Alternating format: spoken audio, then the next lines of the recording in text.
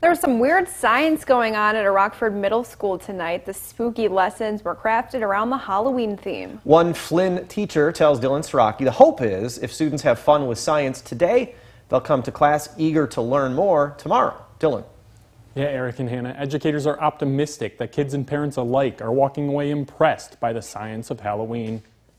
Halloween's magical, right? And science is magic that works. and, you know, and all magic is pretty much science, so it works out really well. Rockford families are treated to some spooky science Monday night at Flinn Middle School. Educators led experiments involving puking pumpkins, candy corn towers, and dry ice potions. Teacher Colleen Ford even dressed as an undead scientist to demonstrate different chemical reactions.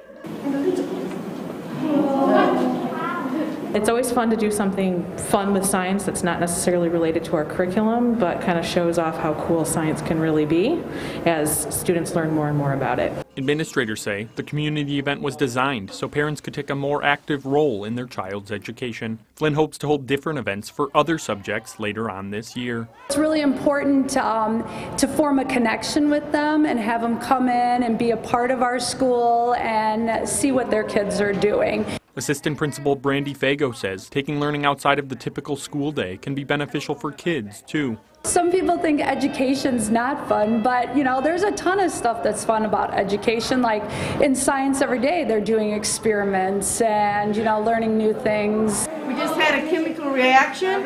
If they get excited tonight about science, maybe they'll come into their science class tomorrow and be a little bit more excited or interested and engaged to learn what's going on in there. And hopefully we can use that to carry throughout the year.